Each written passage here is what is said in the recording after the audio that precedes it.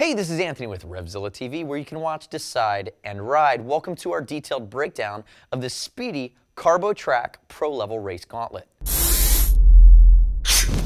Looking at the Spidi CarboTrack glove, we have a next generation of top-end technology from Spidi. This is going to be the replacement for the Penta, which I'm not even sure if they even brought into the States at any point. Really, within the American Spidi line of what we have available, this is going to be the step up or the top end of the line, and Slightly underneath this is going to become something that's a little bit less technical like the Carbo 6. Now, if we're looking at this, we're talking about a glove that's around that $300 price point. It's GP technology. It's about as protective and comfortable as you can get while using these components. There's something like 200 plus pieces of technology or components that go into this glove.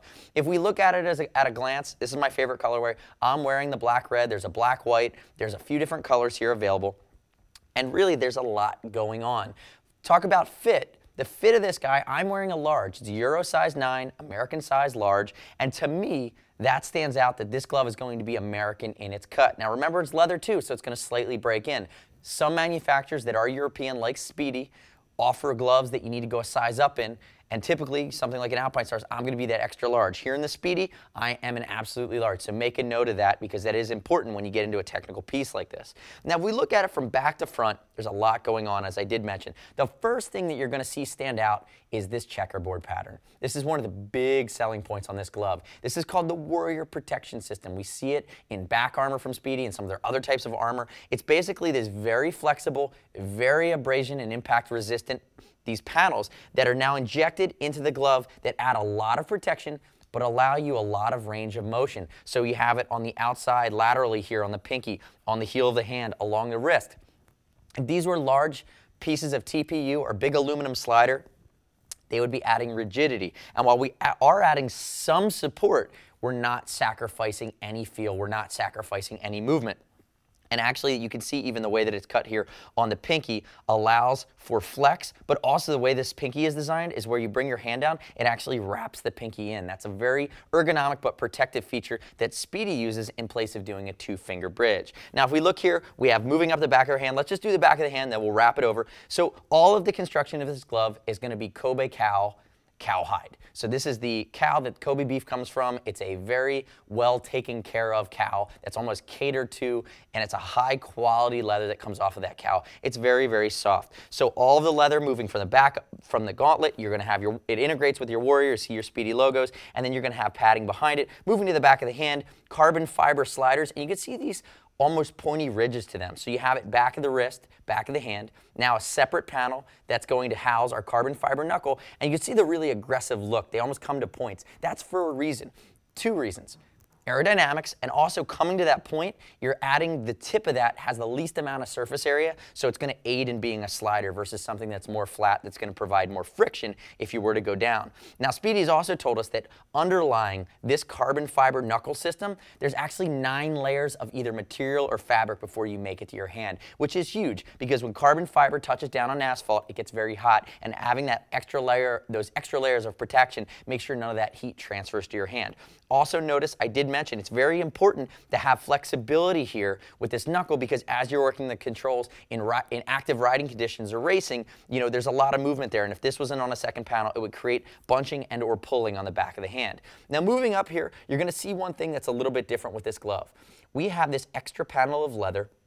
And again, it's this super high-end cowhide that covers elasticated panels that are perforated underneath there. You can see that white poking through, so that adds flexibility through the elasticated panel. It also adds breathability, but it's anytime you perforate any type of leather, you're weakening it, so they've added these extra panels of protection. Moving into the fingers, there's foam in these fingers, there's multiple leather, uh, multiple layers of leather, and then in the middle and the uh, ring finger, you're going to have carbon fiber and a temper foam pad here on the tip of the ring finger as well. And actually you can see that that Warrior armor, again, is seated within a layer of Clarino on top of a layer of leather. It's just a really, really nice touch. Moving towards the thumb, you're going to notice we start to look at our cuff. We might as well hit the cuff here. So double cuff closure. So it's going to be a, a, a micro style Velcro, which is a little bit shorter hook and loop system that comes over, all encompassing even on this, uh, the bottom side here with the Warrior that comes over. And you're going to have an accordion panel that's covered underneath.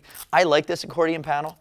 I think that it's low profile, it sucks in well, and you notice that we even have some perforation here along this in, inner cuff. So there's my double cuff closure for adjustability, wrist adjustment strap here, and then moving back into the thumb, elasticated stretch panel, perforated area of temper foam, seated within another layer of leather. So again, you're talking about a lot of different panels that come in between the road and your skin. Moving over into the palm, pre-curved fingers, you have a flat seam construction. These are going to be internal seams on all of the fingers and thumb, except for the pinky that has an external seam here. And again, that's done differently because it in incorporates the warrior protection.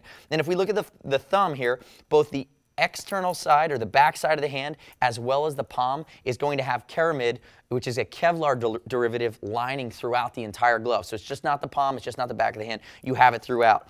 Looking at the Clarino or along the heel of the hand, you have a high density temper foam slash gel palm here, which is on the ball of the thumb, which is triple stitched around. And then moving over to the heel of the hand, again, a high impact area, you're gonna have more warrior protection. So again, you have that very flexible, very strong and abrasion resistant panel that's gonna do a great job of covering your hide.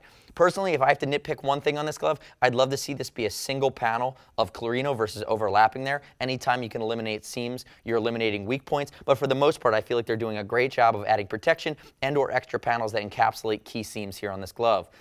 There's, you know, Spidi calls it microfiber. I'm going to disagree. I think that's just kind of what they had to call it, lost in translation factor a little bit. This is actually a silicone-coated rubberized panel on these double-stitch panels in the high use area here. There's actually a tackiness to it, to it, and you actually see it down here as well. You have that across, uh, you know, where your fingers meet your hand, and then also in the crook of the finger and thumb, high use areas that are going to add abrasion resistance and longevity to this glove. And then to fit, you know, we did talk it's a large, but I'm, I'm going to go out here and say even pre-break-in, this is a very, very comfortably fitting glove. The leather is as nice on the inside as it is on the out. You know, you're talking about a $300-ish price point, so it's a major investment, but there's a lot of bang for the buck here. Um, Outside of that, I really don't have anything that I want to pull apart or, or take away from this glove. I mean, it, it's definitely a big step forward from what we saw in the previous version in something like the Penta, and it definitely can hang with a lot of the other pro-level race gloves that we have within our line here at RevZilla.com. And as I did mention that there are multiple colors available. So let us know what you think of the Carbo Track. Leave us notes on, on YouTube, on Facebook, on Revzilla TV. We want to hear if you love it, if you hate it, if you're riding one now, or if you're just seeing it for the first time and salivating over it. And as always, you can subscribe to us at Revzilla TV. Keep up to date with all the new gear reviews that we're doing continually and rolling out to our YouTube channel and on our website at RevZilla.com.